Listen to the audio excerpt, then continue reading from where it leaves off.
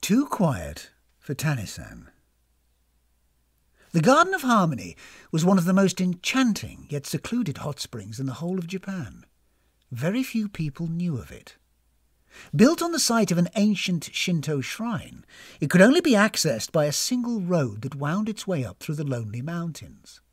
A verdant haven amongst the beeches, it was crisscrossed by a network of rickety wooden buildings with pointed roofs, narrow pathways, mossy alcoves, and shady verandas. A bamboo watercourse fed two stone baths in which guests could luxuriate while savouring the tranquil atmosphere. This, coupled with the breathtaking views, made it the perfect retreat for those seeking oneness with nature. In short, it was difficult to imagine a more idyllic spot. Mm, I don't like it, said Tanisan, casting a wary eye at these surroundings. There's something fishy about this place. At the time, she was immersed up to her neck in warm, soupy mineral water, while just across from her, on the other side of the pool, sat her dim friend Mrs. Ishihama, similarly submerged. They were like two basking snow monkeys. Well, I think it's lovely, said the latter, as she leant back against the rocks to enjoy the early morning sunshine. Tanisan paused in her reflections to peer through the steam at her. Yes, well, you're not exactly known for your scintillating insights, are you, Ishihama-san? she said. You thought that a metronome was a gnome that lives in the city. Well, I just don't see what the problem is, said Mrs. Ish, with a shrug of her shoulders. What is it that bothers you so? I can't quite put my finger on it, said Tanisan, her eyes darting watchfully from side to side, but one way or another I mean to find out. Even at the best of times, Tanisan was not a massive fan of hot springs, or onsens as they're rightly known. She'd only agreed to accompany her three friends because their original plan had been to spend just a short time there after visiting a town in the area, which was known for its poppyaki and chocolate cake. The problem was that when they'd come to leave, they'd been told by the old couple who ran the place that there'd been a landslide further down the mountain, which meant that it was impossible for the minivan that had brought them there to pick them up until the road had been cleared. So they'd ended up staying the night at the behest of the owners, who'd been only too eager to compensate them for the inconvenience. Now, for most people, a free overnight stay and complimentary dinner at a luxurious onsen would have been a piece of good fortune, but not for Tanisan. She did not do peace and harmony, and had found the experience quite taxing. The evening meal had been nothing short of perfect, the accommodation sumptuous, and on the one occasion she'd had cause to complain about the rattle on her sliding door, it had been quickly and efficiently dealt with. All in all, it had been a thoroughly unsettling affair. Don't you think that you're overreacting slightly? said Mrs. Ishihama, keen to put Tanisan's mind at rest. Mrs. Sekiguchi said that coming here was one of the best decisions we've ever made. Yes, said Tanisan, clearly unimpressed. Would this be the same Mrs. Sekiguchi who said that it would probably be okay for you to give some of your chocolate cake to that blind lady's guide dog? If so, I have serious doubts about her judgment. Where is she, by the way? Still at the animal hospital, I imagine, said Mrs. Ish, unless some kind person has been good enough to take her home. No, no, no, said Tanisan. Mrs. Sekiguchi. Mrs. Ishihama leant forward and adjusted her bath towel which had started to slip. I've no idea, she said. I haven't seen hide nor hair of her since we all parted company last night. Having said that, I did overhear her talking to Mrs. Terracado about trying out some of the special skin treatments that they do here. Hmm, mused Tanisan. Don't you find that strange? Well, said Mrs. Ish, when you're born with a face like Mrs. Sekiguchi's, you have to be prepared to try anything. Point taken, said Tanisan, although that's not what I meant. Don't you find it strange that they should just disappear like that without telling us? Not really, came her silly sidekick's reply. I'm quite used to people not telling me things. And even when they do, I'm usually none the wiser. That's probably why they don't bother. And quite frankly, who could blame them? Yes, said Tanisan. Well, being none the wiser does tend to be your forte, doesn't it, Ishihama-san? I suppose that what I'm trying to say is that we may not be able to trust the people here. I mean, even you, with your feeble powers of deduction, must have picked up on the fact that they're being just a little too friendly and accommodating. That meal they put on for us last night was enough to feed ten people. It's almost as if they're fattening us up for something. Tanisan stopped short, for just then she spotted Mrs. Yamanaka, the owner, making her way towards them. She was carrying a tray and had a big friendly smile on her face. Good morning, ladies. I do hope you slept well, she beamed as she bent down to hand each of them a wooden cup. I just thought you might like to try some of our special homemade kelp and beech twig tea, which is not only invigorating, but very good for you. Tanisan sniffed the brackish brew. Good for someone, she muttered distrustfully. Mrs. Ishihama took a little sip of hers, pulled a face, and then placed her cup on the edge of the pool. Uh, Mrs. Yamanaka, she began before Tanisan could stop her, I'm glad you're here because you can settle something for us. Uh, speaking for the group, I think I can safely say that we've been overwhelmed by your kindness and generosity, but Mrs. Tani here doesn't seem to think that we can trust you. Quick as a flash, Tanisan reached out under water and grabbed Mrs. Ish by the ankle, pulling it towards her. As a result, her loose-lipped companion slid straight down and disappeared beneath the surface of the water, cut off mid-sentence, as it were. The weather, said Tanisan. I don't think we can trust the weather. Any idea when the road will be clear? Mrs. Yamanaka frowned, her gaze alternating between Tanisan and the gently undulating ripples where Mrs. Ishihama had been only moments before. Oh, uh, uh, later this morning, hopefully, she replied. Uh, are you sure she's all right? Oh, yes, said Tanisan, still holding on to the ankle. She sometimes likes to take a little dip to brush away the cobwebs. Ah, look, here she comes now. So saying, she let go of the leg, and Mrs. Ishihama came coughing and spluttering to the surface. Yes, yes, that was most refreshing, wasn't it? said Tanisan, patting her on the back. And I think that what both of us would really like to know, Mrs. Yamanaka, is whether you've seen our two travelling companions this morning. Isn't that so, Ishihama-san?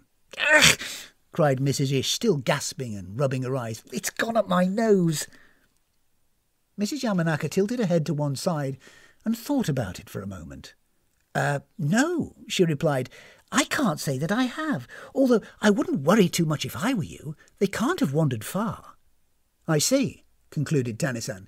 So what you're saying is that there's no escape? Uh, well, no, I don't think I'd quite put it like that, said the old lady, a little disconcerted by Tanisan's attitude.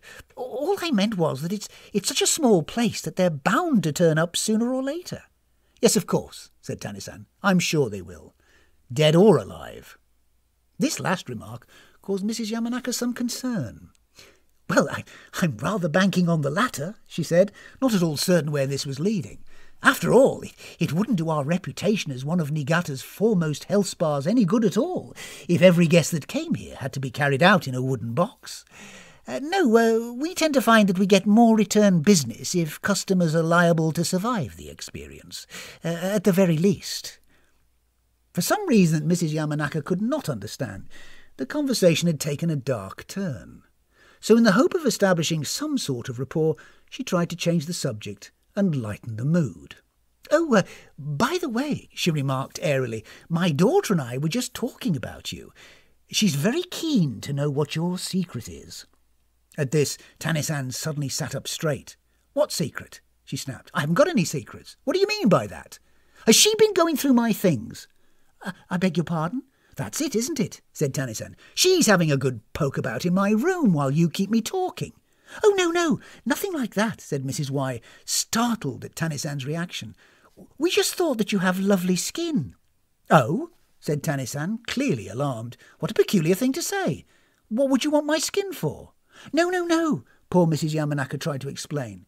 We didn't say that we wanted it. Good, said Tanisan, pulling her bath towel closer around her, because you can't have it. It's mine. I'm using it. Having finally realized that it was pointless trying to communicate with this person, Mrs. Yamanaka just stood there staring at Tanisan, while Tanisan stared right back. Yes, said Mrs. Y, after a very awkward silence. Well, uh, I suppose I'd better be getting on. Those beds won't make themselves. Once she'd started along the path to the chalets, Tanisan turned to Mrs. Ishihama, who had now recovered from her undignified dunking. You see, she hissed, they're definitely up to something. By cleverly applying various psychological techniques, I was able to wheedle it out of her. Oh, said Mrs. Ishihama, was that what you were doing? Of course, said Tanisan with scant regard for the facts. It was all part of my plan. And now that I have her on the run, I intend to squeeze and squeeze her until the whole truth comes oozing out. Oh, yuck, said a revolted Mrs. Ish. So that's why detectives have to wear those special gloves. The next part of Tanisan's so-called plan was to establish whether they were being lied to as regards the closure of the road. So once they'd left the pool and got dressed, Tanisan told Mrs. Ish to wait in her room in case their friends turned up while she was gone. In the meantime, she took a walk down to the gate at the entrance to the onsen. There was no sign of activity in the immediate area, so she carried on down the mountain to where the access road took a sharp left turn. Down below in the valley, the autumnal foothills were a shimmering mass of orange and gold, implausibly suspended on a fine white mist that hung above the orchards and paddy fields.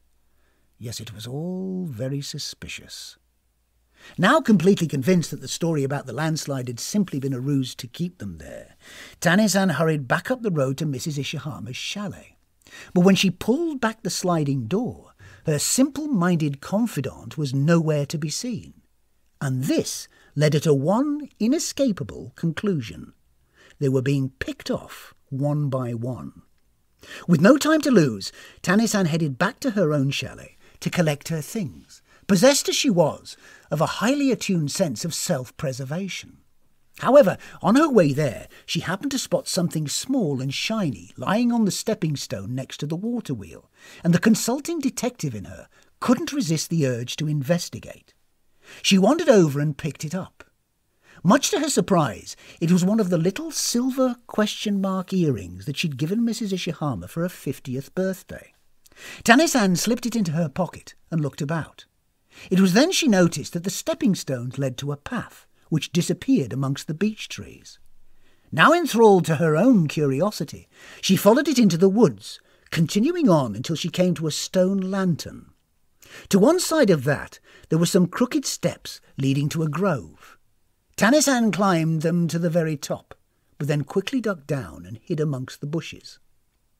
From her rather restricted vantage point, she was able to make out Mrs. Yamanaka's daughter digging in a glade next to three large earthenware pots.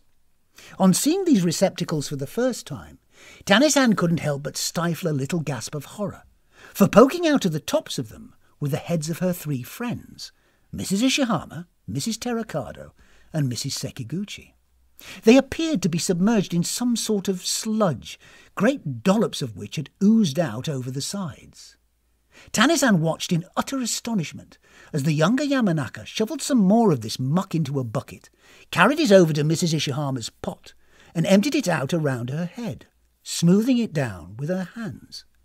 She then disappeared from Tanisan's field of vision, only to reappear a few moments later with three dome shaped lids with holes in the bottoms, whereupon she went from one pot to another, placing a lid over the head of each lady. These lids acted as chimneys, causing the steam that rose up from the sludge to funnel upwards through the holes and out into the atmosphere. Like a child who for the first time sees her mother wearing a cosmetic face mask, Tanisan felt that special fear that occurs when the familiar world suddenly changes into something strange and frightening. And in her panic, she ran.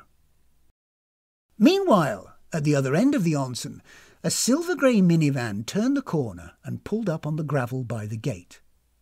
A thin man with a long, lugubrious face climbed out and went round to the passenger door. He slid it back and stood aside with a sort of weary forbearance, as one by one a variety of small middle-aged women climbed out, forming a noisy gaggle at the side of the road. In spite of the fact that he'd been their tour guide for the last five days, they were only vaguely aware of his existence. Uh, ladies, ladies, he said, raising his hands, can I just have your attention, please? Come now, ladies, a little hush if you'd be so kind. Please, ladies, I'm begging you. Or will you just pipe down and listen to me for a second? Silence! At this, there was a deathly hush, and every one of his unruly charges turned to look at him. Thank you, he said, albeit with a definite air of reproach. Welcome to the Garden of Harmony, Niigata's most exclusive spa bath, renowned for its charming watercourse and the rejuvenating effects of its volcanic mud treatments. While here, you will be able to enjoy a selection of fine foods while relaxing in a tranquil setting.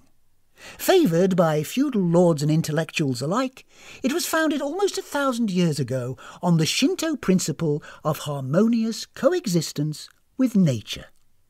All at once, there was a loud disturbance in the bushes off to the left. Tanisan came tearing out through the undergrowth, wild-eyed and with her hair sticking out in all directions. For a moment, she just stood in the middle of the road, peering frantically from left to right, as if she wasn't quite sure where she was. But then she caught sight of the new arrivals and came rushing over to them. Get out, she warned. Get out of here while you still can.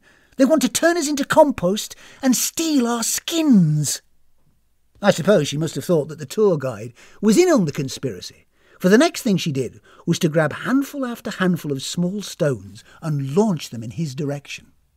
Then, as if to underscore her displeasure, she marched up and blew a raspberry at him, before scuttling off in the opposite direction. The group of ladies who had witnessed this incident then looked to their guide for some clue as to what it meant. So he stopped flinching and brushed off his jacket. Oh, well, yes, of course, he remarked in a half-hearted attempt to make light of the situation. Having said that, it's, uh, it's not for everyone.